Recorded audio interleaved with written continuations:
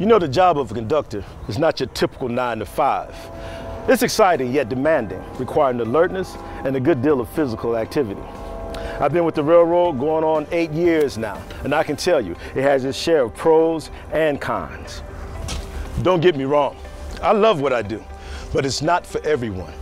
Let me show you what I'm talking about so you can decide if being a conductor is right for you. Norfolk Southern is a solid Fortune 500 company that's been around for a long time. I like the security of knowing that it will be there for me both now and when I retire. To make sure it is, we take pride in what we do and work hard every day. Norfolk Southern operates 24 hours a day, seven days a week, all year long. And so do the conductors. That's great for me. I'm not a nine to five kind of guy. Never have been, never will be. I like a lot of variety in my schedule.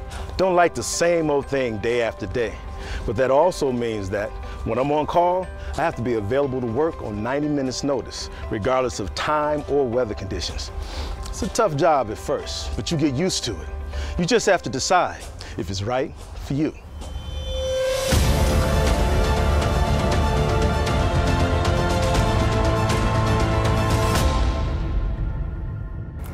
Be honest, one of the perks of this job, well, besides getting to ride around in a locomotive, is the great pay. I have the best health and retirement benefits of any job I've ever had. You wouldn't think that's important at my age, but believe me, it is. Well, while my family and I certainly enjoy the compensation, there's some lifestyle adjustments we've had to make. Whether at home or on the road, there's no alcohol when I could get called into work. And there are no illegal drugs, ever. And yes, there is random drug testing. I've learned to manage my rest so I'm alert on the job. Sometimes that means missing my favorite TV show or dinner with the family.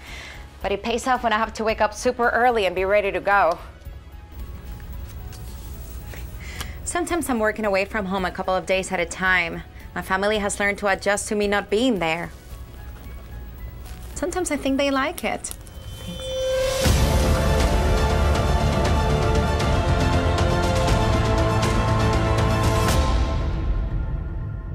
In addition to the lifestyle challenges, being a railroad conductor is physically challenging. But if you're like me, I'm always outdoors anyway, and I try to stay in shape. It's better than pushing paper behind a desk, I always say.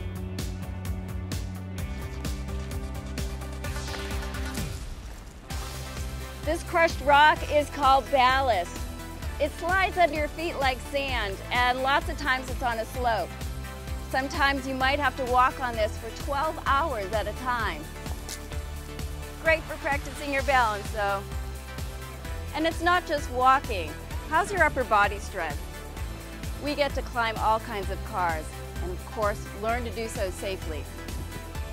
In fact, Norfolk Southern puts us through lots of training throughout our careers.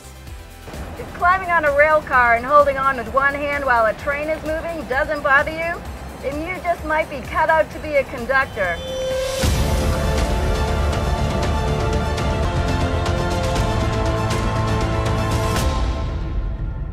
Conductors have to be in good shape.